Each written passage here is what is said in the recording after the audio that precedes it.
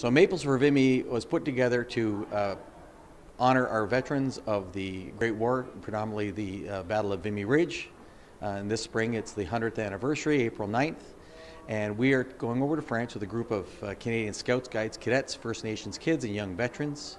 And we're meeting up with some French Scouts, Guides, and Cadets, and we are planting uh, throughout the uh, towns, which were the divi- divisional uh, headquarters of the Canadian troops, and on Vimy Ridge, 500 maple trees to create living memorials of honor, to leave a legacy, to enhance the Vimy Monument and the Vimy Memorial.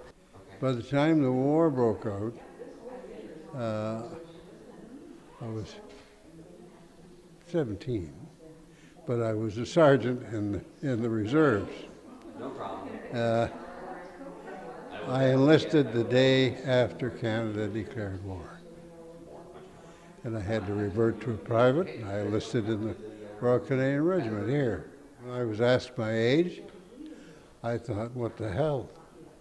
If you're going to lie, you better tell them a good one. So I said I was 21. In those days, they didn't really care a heck of a lot. Now, Sheridan Atkinson, uh, World War II vet, 95 years old, absolutely spectacular person, uh, was so generous in offering to sponsor our very first Vimy maple tree. It is so significant that uh, a, a veteran like Sheridan, who saw action, he's been around, he's 95 years old, would look at a project like this and understand its significance and want to help out to ensure that we actually were able to pull this off.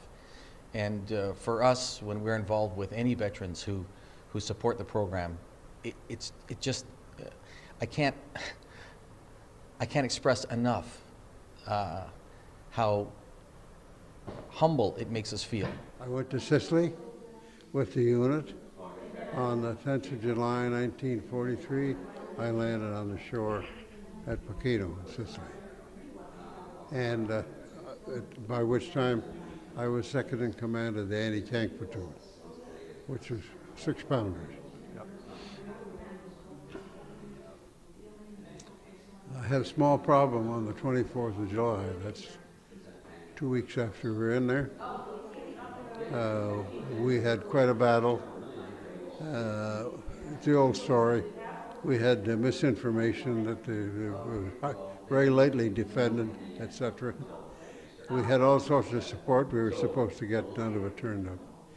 And it was a pretty bad thing. What was supposed to be captured today took five. Uh, I, on the 24th, had a small problem with the German 88, which landed just around the corner of an old tank that I was hiding behind we were under very heavy fire. And uh, that was the end of the war for me.